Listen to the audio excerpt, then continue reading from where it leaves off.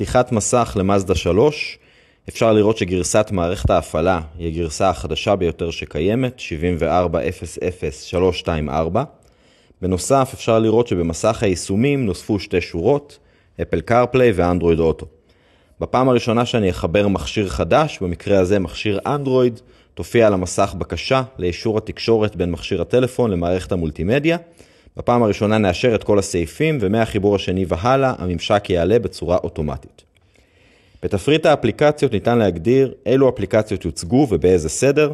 אצלי סידרתי שהאפליקציה הראשונה היא Waze, אחריה Spotify, טלפון, אפליקציית שערים, פנגו, מפות גוגל, וואטסאפ, כרגע הקראה והכתבה של הודעות נתמכות כאשר הקראה במגוון שפות כולל עברית, הכתבה לא תומכת בעברית כרגע.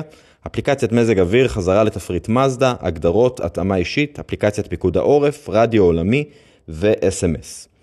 יש אפשרות לעבור למסך מפוצל ולראות שתי אפליקציות, מוזיקה וניווט, אחת ליד השנייה.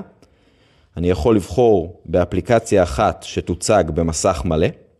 במקרה הזה בחרתי באפליקציית Spotify, אפליקציית המוזיקה.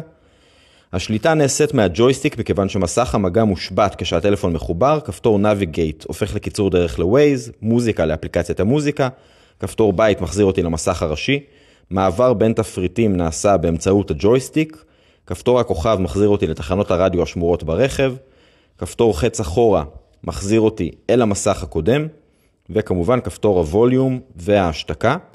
בנוסף ניתן לשלוט במערכת גם מההגה.